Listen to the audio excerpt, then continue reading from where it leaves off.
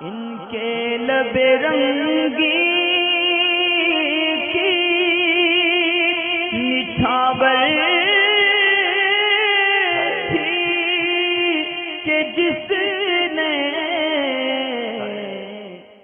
और क्योंकि एडवर्टाइजमेंट करवाने वाला जानता है कि ये वीडियो उसके चैनल पे काफ़ी लंबे टाइम तक रहने वाली है, लिहाजा वो उसको अच्छी रकम देता है। मसलन ये कि अभी मैं वीडियो रिकॉर्ड कर रहा हूँ, मैं ये, मुझे कोई शख्स कहता है कि आप जो नेक्स्ट वीडियो रिकॉर्ड करेंगे, उसके अंदर तीस सेकेंड तक हमारे बारे में बता दीजिएगा इस एप्लीकेशन के बारे में।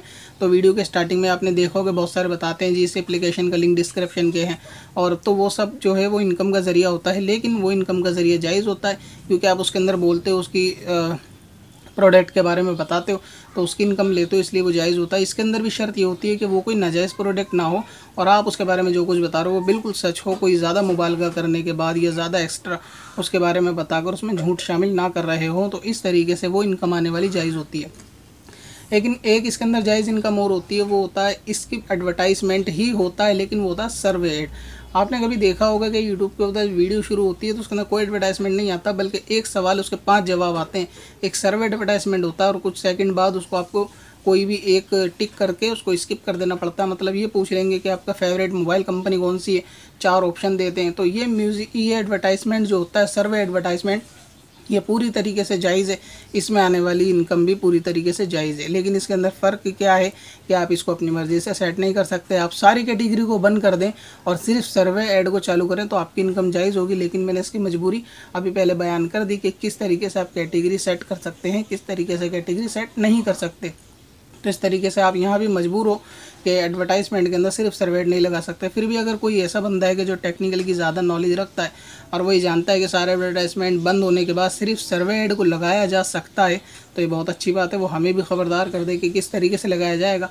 तो बाकी अगर सर्वे लगेगा तो ये बिल्कुल जो है वो जायज़ होगा। अब बात करते हैं, इसमें एक और जायज़, एक स्पॉन्सरशिप की बात हो गई कि जो भी चैनल स्पॉन्सर या करेंगे तो वो इस तरीके से जायज़ होगा। दूसरी, इसके अंदर जायज़ सूरत सर्वेड की हो गई और तीसरी इसके अंदर जायज़ होती है ज्वाइन बटन यानी स्पॉन्सर बटन की।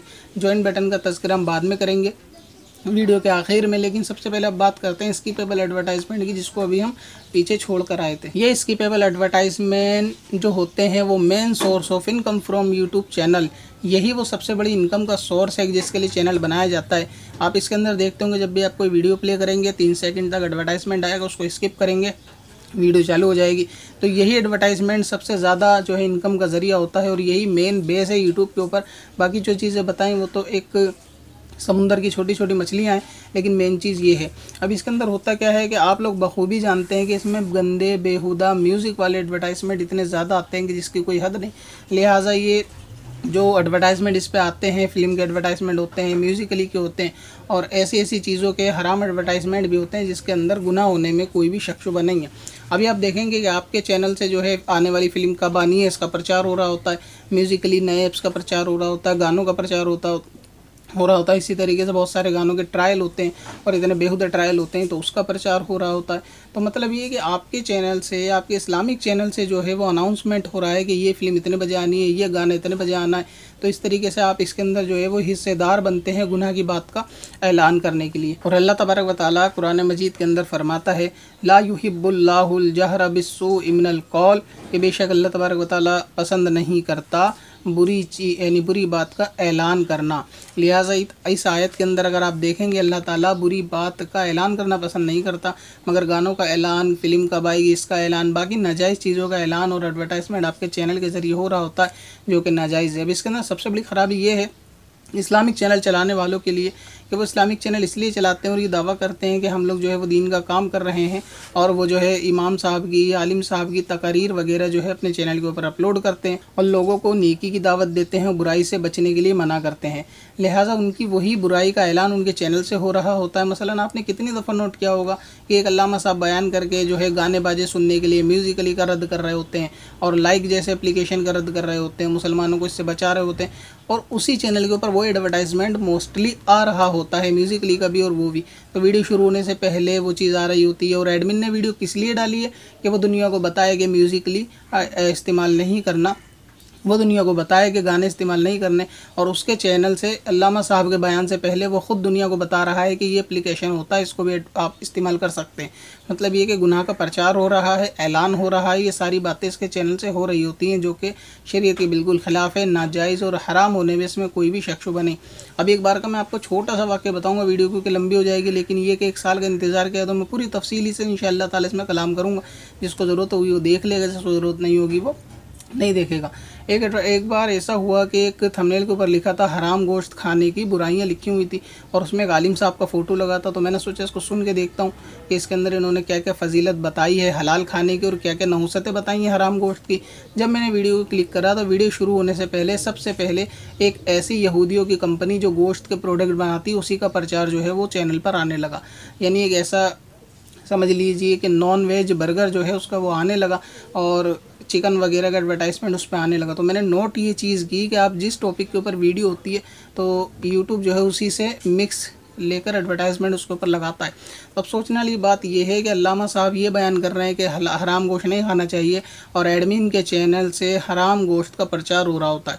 फिर मैंने उसके नीचे कमेंट में जाके देखा बहुत सारे लोगों ने इस बात को नोटिस कर रखा था और सब टोक रहे थे कि मौलाना साहब, आप जिस चीज़ को हराम कह रहे हैं, वो एडवर्टाइजमेंट आपके चैनल पे आ रहा है। मौलाना साहब, ये एडवर्टाइजमेंट आपके चैनल पे आ रहा है। लेकिन सबसे बड़ी दिक्कत वाली बात यह है कि उन मौलाना साहब को इसकी खबर ही नहीं होती, क्योंकि एडमिन हजरात क्या करते हैं, कहीं जाके जलसे वगैरह में रिकॉर्डिंग करी या किसी चैनल की वीडियो ली, अपने चैनल के ऊपर डाल ली, लेकिन इसमें आलिम साहब की क्या गलती कोई किसी की वीडियो लेके डाल ले और एडवर्टाइजमेंट चला लिया। वो आलिम साहब को जो है वो कह रहे थे, लेकिन ये सोचने वाली बात है अक्सर आप इस चीज़ को नोट करेंगे कि अगर गानों को रद्द किया जाएगा, गानों के ख़िलाफ़ बात की जाएगी और म्यूज़िक के ख़िलाफ़ बात की जाएगी तो आपके चैनल पे वो सारी चीज़ें जो है वो उसका प्रचार प्रसार हो रहा होता है। लिहाजा बैडमिन हजरात को ये बात इन बात पर गौर फ़िक्र करना चाहिए कि आप दुनिया को इस्लामिक वीडियो डाल के ये दर्ज देते हो कि आपको हराम से बचना है, हराम गोश्त नहीं खाना, म्यूज़िक नहीं सुनने, गाने नहीं सुनने, मगर एक जगह आप उनको गाने सुनाते हो, उनको ख़बरदार कर देते हो, जो गुनाह के काम जो है, नई फ़िल्म नहीं आने वाली होती है, पता नहीं होती है तो उसके बारे में ख़बरदार करते हो। तो इसका मतलब ये है कि आप लोगों को नेकी का हुक्म दे रहे हो, लोगों के लिए इस्लामिक वीडियो डाल के, उनके आखिरत अच्छा करने का ज़रिया बने हुए हो, लेकिन आप खुद अपनी जानों को भूल चुके हो कि यही सारे मामले आप पर भी फ़र्ज़ होते हैं कि आप पर भी हराम और हलाल की तमीज़ करना और इसके अंदर जो है फ़र्क करना, ये आपके ऊपर भी फ़र्ज़ है। कुरान मुक़दस में ऐसे लोगों के लिए अल्लाह तबारक वाली ने इरशाद फरमाया, अतमरून अतामरून्नासा बिलबिर वतन सोना अनफुसकुम के लोगों को भलाई का हुक्म देते हो और अपनी जानों को भूल जाते हो तो इस आयत के तहत एडमिन हजरात जो हैं वो नोट करें, जिनके चैनल पर एडवर्टाइजमेंट आते हैं, कि वो जो है लोगों को अपने वीडियो के ज़रिए से भलाई का हुक्म दे रहे होते हैं, लेकिन ख़ुद अपनी जान को भूल जाते हैं कि क़यामत के अंदर इनको भी इस चीज़ का जो है वो हिसाब देना है। लिहाजा ये जो मेन एडवर्टाइजमेंट की सोर्स है स्कीपेबल एडवर्टाइजमेंट इसकी इनकम पूरी तरीके से हराम है और इसका खाना बिल्कुल नाजायज़ है, इससे ख़रीदा गया हर एक सामान नाजायज़ है, चाहे वो जिसम पर ओढ़ने वाला कपड़ा हो या पेट में गया हुआ लुकमा हो तो ये ऐसी हराम है इसको किसी सूरत अपने लिए जायज़ नहीं कर सकता क्योंकि ये सब गाने बाजे, बेपर्दगी और गंदगी, नाजायज़ और हराम ज़रिए से कमाई गई। इनकम होती है यूट्यूब की जो स्किप वाला एडवर्टाइजमेंट होता है। और स्किप में जो जायज़ होता है, उसका मैंने तस्करा कर दिया, वो सर्वेड होता है जो पूरी तरीके से जायज़ होता है, जिसके अंदर खिलाफ शरा कुछ भी नहीं होता। अब एडमिन हजरात गौर कर लें कि जो इनके हक़ में आने वाली इनकम है, अब उसका क्या करना है, उसके बारे में भी मैं आगे चंद बातें बता देता हूँ कि जो इनकम आपके पास आ चुकी है, उसका क्या हुक्म शरा होता है। तो जो पैसा किसी ने हराम ज़रिए से हासिल किया हो, उसके लिए कायदा ये होता है कि इसके वापस करने की दो सूरतें होती हैं। पहली सूरत तो ये होती है कि जिस शख्स को पैसा जिससे लिया गया है, उसको वापस कर देना वाजिब होता है। और दूसरी सूरत ये होती है कि जिसको लिया गया है, उससे तो वापस करना ज़रूरी नहीं, मगर ये कि किसी फ़कीर को इसको सदका करना चाहिए। यूट्यूब की कमाई गई एडवर्टाइजमेंट जो नाजायज़ हराम होती है, उससे आने वाली जो इनकम होती है, उसके लिए हुक्म यह होता है कि इसको वापस यूट्यूब को करना तो वाजिब नहीं, मगर ये कि इसको फ़कीर को दे देना चाहिए। यानी जो रकम आपने कमाई है, उसको देना पड़ेगा। हराम कमाई के लिए एक कायदा ये है कि माँ हसलबी सबबिन खबीस सबीलू रद्दू कि जो गैर शर्य ज़रिए से हासिल हो, उसको वापस किए बगैर चारा नहीं। लिहाजा जितनी भी हराम रकम किसी के पास आती है, उसको ये वाजिब होता है कि वो किसी फ़कीर को सदका करे। यहाँ तक कि अगर उसने उसका कपड़ा ख़रीद लिया तो उस कपड़े को भी दे देना, फ़कीर को सदका कर देना वाजिब होता है। अगर उसने अपने लिए कोई ऐसी चीज़ ख़रीद ली जो ओढ़ता पहनता, इस्तेमाल करता है तो उसको भी जो है वो दे देना चाहिए। ये रकम इसके हक में बिल्कुल भी जायज़ नहीं, इससे ख़रीदा गया सामान इसके हक में बिल्कुल भी जायज़ नहीं। अला हज़रत इमाम सुन्नत फतावा रजविया शरीफ में हराम रकम के ताल्लुक से एक मकाम पर फरमाते हैं कि हराम रकम का इस्तेमाल असला तो जायज़ नहीं, नेक काम हो, चाहे दुनिया के काम हो, इसके सिवा कि इसको फ़कीर को सदका कर देना चाहिए। और इसमें सवाब की नीयत करना, यानी सदका करते वक्त ये सोचना कि मुझे सवाब मिलेगा ये असला हराम है। यानी ये कि बहुत सारे एडमिन को मैंने ये कहते हुए सुना है कि वो अपने लोगों से सब्सक्राइबरों से ये कह रहे होते हैं कि हमें जो यूट्यूब की इनकम आ रही होती है, हम इसको आधा पैसा मस्जिद में देते हैं, आधा इस्तेमाल करते हैं। तो उनके लिए तो लम्हा फ़िक्र बहुत ज़्यादा है कि मेरे भाई एक मरतबा किसी मुफ्ती से जाके, आलिम से जाके अगर अपनी आखरत की फ़िक्र हो तो ये चीज़ मालूम करें कि हराम की रकम अगर मस्जिद में सदका देंगे तो वो क्या होगा? इसीलिए फतावा आलमगिरी के अंदर भी ये मसला बिल्कुल वाज है कि हराम की रकम को सदका करना और उस पर सवाब की नीयत करना, ये कुफ्र है। लिहाजा इसमें ईमान का बहुत ज़्यादा ख़तरा है कि एक तो रकम भी हराम और दूसरी मस्जिद में सवाब की नीयत से देकर आप ये समझ रहे हो कि इस पर सवाब मिलेगा या आपका गुना उतर जाएगा, ऐसा नहीं होता। जो रकम हराम है उसको वापस ही करना है, इसके सिवा कुछ नहीं हो सकता, वरना बरोज़ क़यामत हिसाब इसका आपको देना ही पड़ेगा। इसी तरीके से फतावा आलमगिरी के अंदर ये बात भी लिखी है कि अगर किसी ने हराम रकम का सदका किया और फ़कीर ने ये समझता है कि वो हराम रकम है, उसको लिया और उसके लेने के बाद उसने दुआ दी और इस दुआ पे देने वाले ने आमीन कहा, लिहाजा लेने और देने दोनों काफिर हो जाएँगे, दार इस्लाम से खारिज हो जाएँगे। तो गौर करना चाहिए, बहुत सारे एडमिन जो इस चीज़ का लोगों के आगे ये आके कहते हैं कि हम इसको जो है ना किसी नेक काम में सर्व करते हैं।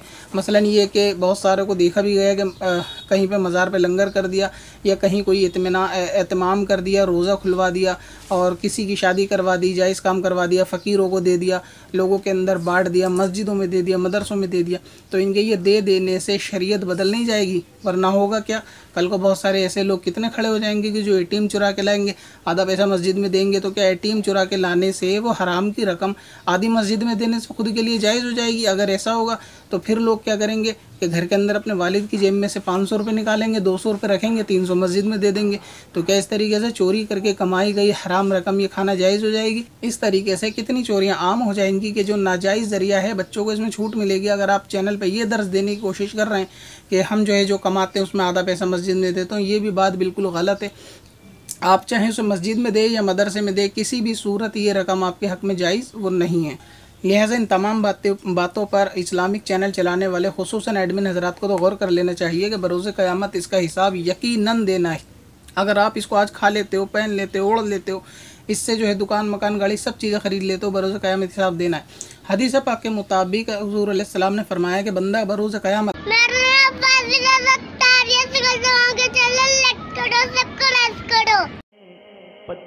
पत्थर में